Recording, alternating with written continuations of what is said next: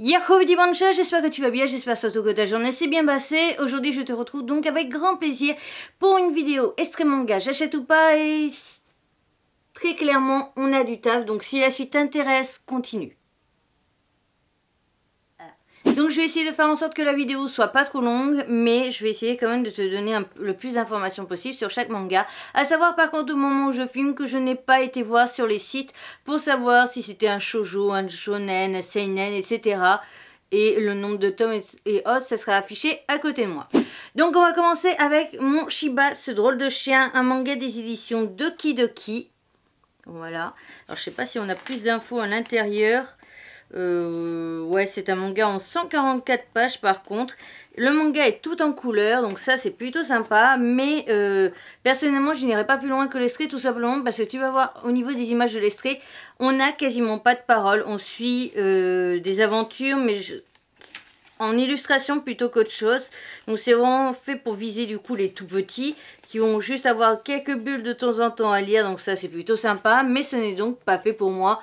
Parce que très clairement, les Kodomo, parce que pour moi ça c'est un Kodomo où on n'a pas de texte, bah c'est pas mon délire.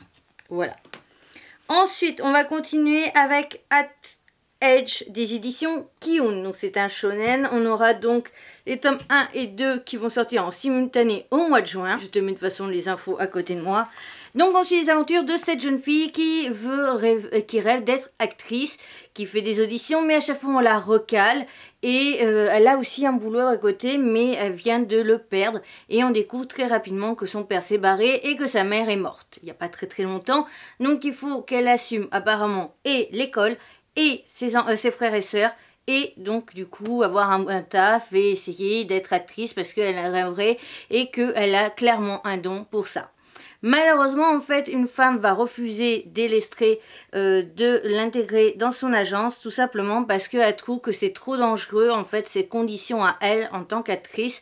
C'est-à-dire qu'elle euh, a un don très puissant, elle arrive très bien à prendre la comment dire, à s'imprégner du personnage et donc la, justement la gérante considère que c'est trop dangereux pour cette jeune fille de faire ça mais euh, contre toute attente, elle va quand même être embauchée en tant qu'actrice. Donc je te laisserai découvrir tout ça et on va en reparler de toute façon lors de la sortie des deux tomes parce que je te ferai une vidéo crash test. Mais toujours été que j'ai très très hâte de découvrir ce qu'il peut valoir. Donc au niveau des infos, bah, c'est juste un manga qui va coûter 6,90€ pour info et puis il était prévu pour le 2 avril. Voilà, c'est tout ce que je peux te dire. Et je sais qu'il cartonne quand même au Japon. Donc c'est pour ça aussi qu'Iyun ne le propose. Ensuite, comment te dire? Euh, Donc tu sais, hein, j'ai un petit problème avec la maison d'édition Doki Doki, je suis pas trop fan d'eux, etc. Enfin bon, ça, euh, de toute façon, tu auras une, plus une explication aussi euh, cet été par rapport à ça. Toujours est-il, ils ont sorti quand même un extrait de Second Summer Never See You Again. Donc voilà, c'est un manga qui est en deux tomes. Donc tu vois, on nous a mis les illustrations des deux volumes au niveau de l'extrait. Je trouve ça plutôt sympa. Et donc, ben finalement, contre toute attente, pour l'instant, ce manga, en ce qui concerne l'extrait, et eh ben j'ai vraiment apprécié. Ensuite, les aventures d'une jeune fille qui a une maladie, un problème de santé. Et donc, en fait, tout simplement, tiens, on voit les deux volumes. Et en fait, euh, donc elle a créé un groupe de musique avec des camarades d'école. Mais avant, jeune, elle n'a pas pu aller à l'école à cause de son problème de santé. Et là, elle a réussi à convaincre les gens de sa famille, etc., de la laisser aller à l'école. Donc elle a créé un groupe seulement au tout début. Dès qu'on arrive, et eh ben, elle a une crise au niveau de son... Je sais plus si c'est une grève de poumon ou de cœur, je sais plus trop. Et en fait, tout simplement, dès le départ, elle meurt et le jeune homme va se trouver transporté en fait en arrière. Euh, je sais pas trop si c'est juste qu'il s'est cogné la tête et donc qu'il revoit le truc ou si c'est la réalité, toujours est-il, apparemment il va avoir une sorte de seconde chance et donc il va pouvoir recommencer leur aventure ensemble et donc essayer de arranger ou de créer une différence par rapport à ce qui il s'est passé dans sa vraie vie. En tout cas, toujours est-il, j'ai vraiment apprécié le petit extrait. Oui, il faut savoir aussi que je n'ai pas lu le résumé, donc j'en sais pas plus. Mais j'ai trouvé ça vachement sympa et plutôt intéressant. Ça va un peu sur la lignée de, du coup, je veux manger ton pancréas. Donc je trouve ça plutôt cool et j'aime bien ce genre de scénario, donc je valide. Ensuite, Assassin's Creed Blade of Sao Jun, si je prononce bien. Donc il faut savoir que le premier Assassin's Creed, je ne l'ai pas lu tout simplement parce que bah, je l'ai laissé passer. Voilà. Alors que c'est en deux tomes, donc euh, en fait, euh, après avoir lu ça, je peux te dire je vais acheter le premier et donc je lirai celui-ci. Donc cette fois-ci, on suit les aventures d'une jeune femme qui est donc dans le clan des assassins. Alors il faut savoir que moi j'y connais rien du tout à Assassin's Creed. Je connais un petit peu vite fait le jeu de, nom, etc. Mais j'ai jamais joué. Euh, mais en tout cas, j'ai trouvé ça vachement sympa au niveau de la qualité des dessins déjà est magnifique, l'histoire est prenante. Et euh, bah voilà, en tant que novice et qui n'y connaît rien du tout, bah, je peux pas juger par rapport à, aux vrais jeux vidéo. C'est un peu comme pour Resident Evil, je n'ai jamais vu les films. J'ai vu juste les deux films d'animation et j'ai joué à deux ou trois des jeux, mais c'est tout. Mais j'avais adoré les, du coup les mangas Resident Evil, donc je me dis pourquoi pas justement pour Assassin's Creed. Et j'ai vraiment, je sais pas, j'ai accroché vraiment à ce qui s'est passé. Est-ce que aussi parce qu'on était pas au Japon, pas en Europe, mais on était en, carrément en Chine, je ne saurais pas te dire. Mais voilà. Ensuite, on continue avec Wind, Fighters. Voilà. Alors lui, c'est donc un global manga, donc un manga français euh, de Christophe Cointo. Voilà. Alors honnêtement, je te dirais très clairement, c'est un shonen pur et dur. Euh, la qualité des dessin n'est pas folle. Il y a vraiment des planches qui laissent à désirer. Je le dis clairement. Euh, alors je critique, enfin je parle pas des autres mangas parce que bon c'est des, mangas japonais et euh, il y a le truc tu sais forcément là il y a forcément moins de level et donc je tiens à en parler. Il y a des trucs aussi un peu incompréhensibles. Il y a des moments d'information qui sont complètement stupides. Là on a la présentation de la fille, hop la euh, jeune fille en mauvaise posture. Donc c'est là maintenant, elle est, oui, elle s'appelle Hop et donc elle en mauvaise posture, mais c'est tout. Après on a Bud, Bud, je sais pas comment il se dit, mais bon, gros bras sans compassion. Voilà, ça me... Voilà, et après on a Elio, le frère qui se la pète un peu. Mais en fait, t'as même pas besoin de lire ça, de savoir qu'il se la pète un peu, parce que rien que quand il débarque, il y a déjà euh, la phrase qui, euh, qui sous-entend, enfin, qui nous fait comprendre que c'est un mec un peu péteux. Et puis ce que j'adore, c'est que donc il, il sort quand même les phrases. Et vous là, qui vous a permis d'embêter ma soeur, pardon, j'allais dire d'emmerder. Et il y en a un qui dit, c'est qui celui-là? C'est le frère, il vient de te le dire. Voilà. Donc après, c'est très shonen, c'est très cliché, je trouve. Euh, donc il y a quelques planches qui laissent à désirer et je n'ai vraiment pas accroché du tout au délire. Donc ça sera sans moi, je suis désolée. Le seul truc que j'ai envie de faire une réflexion par rapport au manga français, donc au global manga, c'est que on a, on nous propose que des shonen.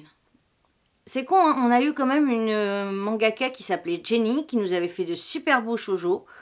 Bon d'accord, il y en a deux qui, où j'ai pas accroché parce que c'était pas du tout mon délire. Mais euh, il était quand même vachement sympa euh, ce que je m'en rappelle.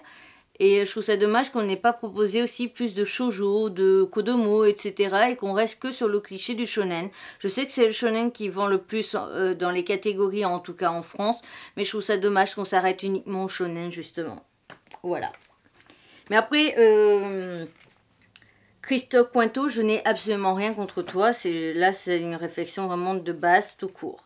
Ensuite, on a assistant assassin. On suit les aventures d'un assistant de mangaka, sauf que, en fait, être assistant mangaka, ça rapporte pas assez. Et donc, du coup, il est aussi assistant assassin. Et c'est ça qui est plutôt sympa. Donc, en ce qui concerne les pages qu'on a, on n'a pas vraiment grand-chose. On découvre juste que son mangaka est un gars qui est vraiment qui fout la pression, qui est très désagréable, et qui a l'air d'être un gros con. Et on, donc on découvre juste ça, on voit qu'il annonce directement à son mangaka que bah, voilà, il avait prévu, il avait annoncé qu'il devait partir tel jour à telle heure et que c'est leur dernier jour pour rendre le, le, projet. Mais il se barre quand même parce que bah, voilà, il avait un autre rendez-vous à une autre heure et euh, il annonce directement au mangaka qu'il a un autre taf, très clairement. Et après on voit juste une scène un peu de violence entre euh, Yakuza. Et on le voit justement débarquer et commencer à les tuer, mais on n'a pas grand chose. Donc pour l'instant, ça reste assez flou. Mais euh, bah, moi, je trouvais ça plutôt sympa. Je kiffe le fait que le gars il soit carrément Kigurumi pour euh, attaquer. Cela, c'est une image du manga.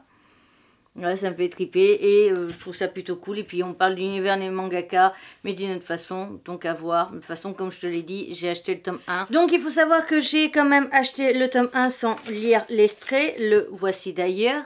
Et que je te ferai une vidéo What New avec ce titre et ça que j'ai acheté. Tu vois, il y a encore le ticket de caisse que je vais présenter du coup euh, début de la semaine prochaine. Voilà, je te dis ça comme ça. On termine donc avec Shibuya Hell, je sais pas trop comment on peut prononcer. Toujours est-il, donc ça c'est marqué Survival Horrors, encensé par euh, Hiroya Oku. Enfin bon, toujours est-il que donc c'est censé être un survival horreur. Pour l'instant, ce qui concerne les images et donc ce que je vais pouvoir te montrer, il n'y a rien de trop trop trop dégueu.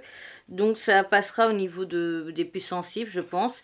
Mais toujours été, donc en fait, on est à Shibuya. On suit les aventures d'un jeune homme qui aime tout ce qui est cinématographie.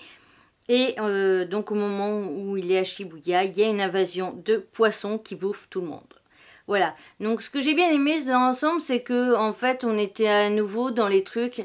Alors, il faut savoir que Dolly Kiki, j'ai lu que l'extrait, mais ça faisait penser à Dolly Kiki où tu avais des poupées qui débarquaient et qui tuaient tout le monde. On, ça me fait aussi penser énormément à justement Magical Girl euh, of the End, où c'était des Magical Girls qui débarquent de nulle part et qui butent tout le monde. Et, donc, et ça me fait penser aussi à un manga, je crois c'est de Kumiku qui est en trois tomes, où c'était des espèces de peluches qui débarquaient euh, aussi pour tuer tout le monde de nulle part. Et donc j'aime bien tomber sur ce genre de situation, c'est plutôt angoissant pour l'instant, donc j'ai très très hâte de découvrir. Et ça de toute façon les deux premiers tomes sortent en juin, donc je te ferai un crash test. Cette vidéo extrêmement manga, j'achète ou pas, est donc à présent terminée. J'espère de tout mon cœur qu'elle t'aura plu. N'hésite pas à me dire sur les 7 titres lesquels t'intéressent et ceux qui t'intéressent le moins. Je te retrouve donc bientôt pour une nouvelle aventure. N'hésite pas surtout à liker, commenter ou même partager cette vidéo. Et pense à me rejoindre un peu partout. Facebook, Twitter, Instagram, Snapchat, Discord, TikTok. Voilà, donc si tu as un de ces réseaux sociaux, n'hésite pas à me rejoindre. Je te retrouve donc bientôt pour une nouvelle aventure. Et on n'oublie surtout pas de sourire quoi qu'il arrive. Bye